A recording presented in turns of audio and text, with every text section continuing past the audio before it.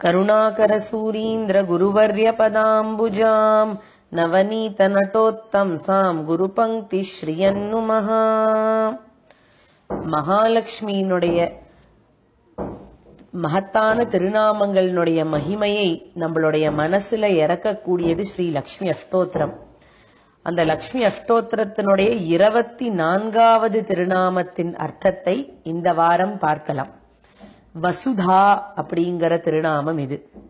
மகாலட்சுமி நம்மளை போன்ற ஜீவர்களுக்கு பலவித உபகாரங்கள் பண்ணுகிறாள் அப்படின்னு பார்த்துட்டு இருக்கோம் அவள் எல்லையற்ற அதிகாரத்தை உடையவள் அதிதி அப்படிங்கறதுனால எப்பொழுதும் நம்மளுக்கு கிருப்பையை பொழிவாள் அப்படின்னு பார்த்தோம். ஒரு கால் நம்மளுடைய பாப்பங்கள் ஏதாவது இருந்து அதனால கிருப்ப வராம இருக்க போறதேங்கிறதுக்காக அந்த பாப்பங்களையும் திதியாகி போக்கிறாள் மகாலட்சுமி. இப்படி பாப்பங்கள் போனதுனால நல்ல ஞானம் ஏற்படுறது. அவள் தீப்தாவா இருக்கிறதுனால நல்ல ஞானத்தை கொடுக்கிறாள். எந்த மாதிரி ஞானத்தை கொடுக்கிறாள் அப்படிங்கிறது இன்றைய திருநாமம் சொல்ல போறது. சாந்தோக்கியோபனிஷத்துல எட்டாவது அத்தியாயத்துல ஒரு கதை சொல்லப்பட்டிருக்கு. ஒரு சமயம் தேவர்கள் அசுரர்கள் எல்லாருக்கும் ஆத்மாவை பத்தி தெரிஞ்சுக்கணும் அப்படிங்கிற ஆசை வந்துதான்.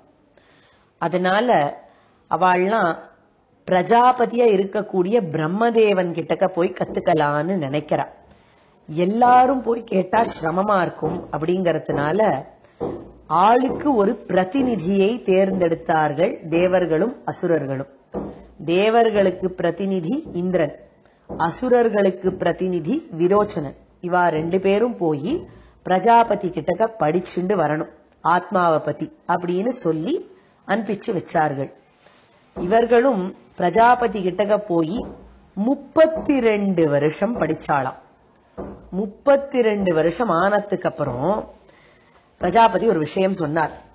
ஆத்மாவை பத்தி தெரிஞ்சுக்கணும்னு வந்திருக்கேள் ரொம்ப சுலபமா இன்னைக்கு உங்களுக்கு சொல்லி கொடுத்துடுறேன். இத்தனை நாள் கழிச்சு.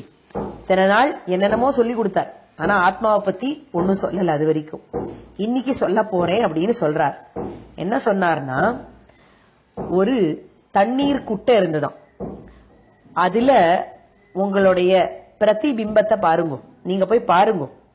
உங்களுக்கு என்ன தெரியறதோ அதுதான் ஆத்மா அப்படின்னு விட்டார். ரெண்டு பேரும் போய் பார்த்தா. அவளுக்கு அவளுடைய உடம்பானது தெரிஞ்சுது. உடம்புல இருக்கிற கண்ணு காது மயிறு நகம் எல்லாம் தெரியுது. இப்படி போய் பார்த்தா பார்த்துட்டு திரும்பி வந்து முழிச்சாளாம் திரு திருன்னு. பிரஜாபதி சொன்னார் நல்ல ஆடைகள் ஆபரணங்கள் எல்லாம் போட்டுண்டு திருப்பி போய் பாருங்கோ அப்படின்னார்.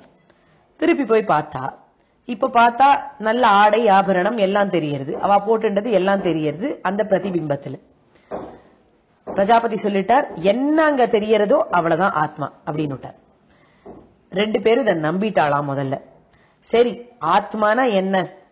இந்த உடலுக்கு நல்ல அலங்காரம் பண்ணி வச்சா அதுதான் ஆத்மா போல இருக்கு அப்படின்னு நினைச்சுட்டா. ரெண்டு பேரும் நம்பிட்டாளாம்.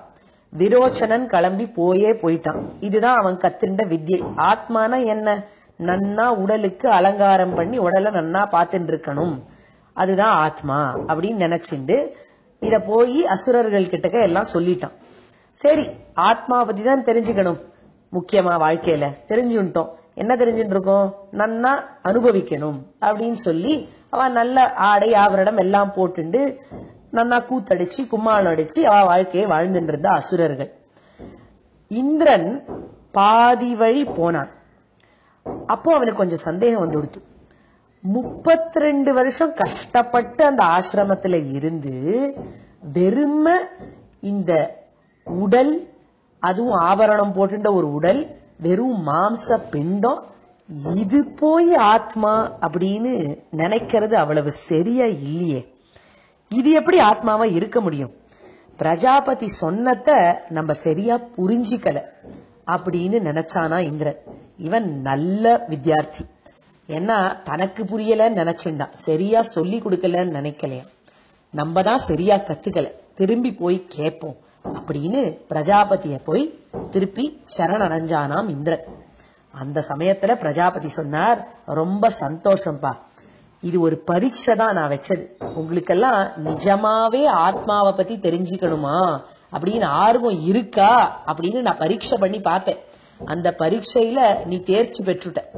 விரோச்சனன் தேர்ச்சி பெறல. அவன் கிளம்பி போயிட்டான். அவனுக்கு உண்மையாவே ஆர்வம் இல்லை. ஏன்னா இந்த ஆத்ம வித்யை அப்படிங்கிறது ரொம்ப வசந்த ஒரு விஷயம். தகுந்த ஒரு ஆளுக்கு நிஜமாவே ஆசை இருக்கிற ஒரு ஆளுக்கு தான் அதை சொல்லணும். தகுதி இல்லாதவாளுக்கு அது சொல்றது இல்லை அதனால தகுதி இருக்கான்னு டெஸ்ட் பண்ணினேன் அதுல நீ தேர்ச்சி பெற்றுட்ட உனக்கு கட்டாயம் சொல்றேன் அப்படின்னு சொல்லி அந்த சமயத்துல ஆத்மாவை பத்தி சொல்ல ஆரம்பிக்கிறாராம் பிரஜாபதி. எட்டு விஷயங்கள் சொல்றார் ஆத்மாவை பத்தி. ஆத்மா அப்படிங்கறதுக்கு எட்டு குணங்கள் சொல்றார் இந்த இடத்துல. அது எப்படி இருக்கும்? அப்படின்னா அபகத பாப்மாவா இருக்கும். அதாவது எந்த ஒரு அழுக்கும் இல்லாததாக இருக்கும். அது முதல்து. அடுத்தது அதுக்கு ஜரையே கிடையாது. அதாவது முதிர்ச்சியே கிடையாது. வயசார தன்மையே கிடையாது. மூன்றாவது அதுக்கு அழிவே கிடையாது. நான்காவது அதுக்கு சோகமே கிடையாது. துக்கமே கிடையாது. அஞ்சாவது அதுக்கு பசி கிடையாது. ஆறாவது அதுக்கு தாகம் கிடையாது. ஏழாவது அது பல இடங்கள்ல போய் சந்தோஷத்தை பெற தகுதி உடையது.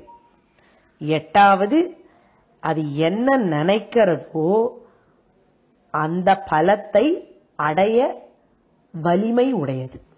இந்த மாதிரி எட்டு தன்மைகள் ஆத்மாவுக்கு உண்டு அப்படின்னு அவர் சொல்லி கொடுத்தார்.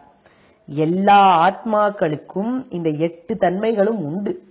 ஆனா பல சமயங்கள்ல அதை உணர முடியறதில்லை. இந்த ஆத்மாவுக்கு இதெல்லாம் ஒட்டாது அப்படின்னு நம்மளால நினைக்க முடியறதில்லை. அதுக்கு என்ன காரணம்னு பார்த்தா இந்த பிரகிருதி சம்பந்தம் நம்மளுடைய கர்மா எல்லாம் காரணமாகிறது.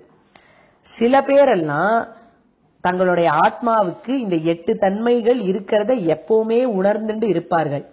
அது யாருன்னு பார்த்தா கண்டிப்பா பெருமாள் பிராட்டி உண்டு.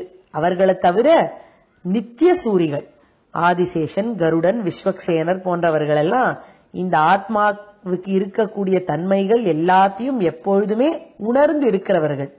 அவர்களை போன்ற இந்த ஞானமானது நம்மளுக்கு கிடைக்கணும். ஆத்மா எட்டு குணங்கள் உடையது அப்படிங்கிற ஞானம் கிடைக்கணும். அப்படின்னா என்ன பண்ணணும்னு கேட்டா வேற எதுவுமே பண்ண வேண்டாம். வசுதாங்கிற திருநாமத்தை ஜபிக்கணுமா? வசுதா அப்படின்னா என்னன்னா இந்த எட்டு குணங்கள் இருக்கக்கூடிய ஆத்மாவை பத்தி ஞானத்தை கொடுக்கக்கூடியவள்.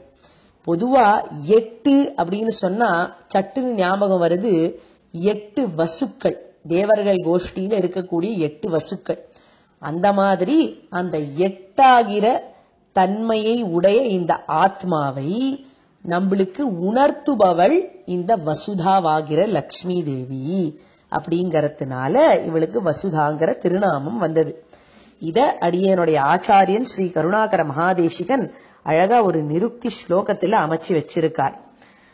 அஷ்டௌ வசவோ யஸ்மாத் வசுரஷ்டா வாத்ம சத்குணான் ப்ரூதே யாதான் ததாதி தேவி வசுதா நாம்னா ஸ்துவந்தி தாம் பக்தாகா அப்படிங்கிறார். வசுதாங்கிற திருநாமத்தை பக்தியுடன் ஜபிச்சா மகாலட்சுமி ஆகிற வசுதாவனுடைய கட்டாட்சம் நம்மளுக்கு கிடைச்சி இந்த ஆத்மாவனுடைய எட்டு குணங்கள் இருக்கிறத உணர்ந்து அதனால சத்புத்தி பெற்று இந்த உலகத்துல வாழ்ந்து போவோம் அப்படிங்கறதுல சந்தேகமே இல்லை. அதனால பக்தியுடன் ஜபிப்போம் வாங்கள். வசுதாயை நமஹா.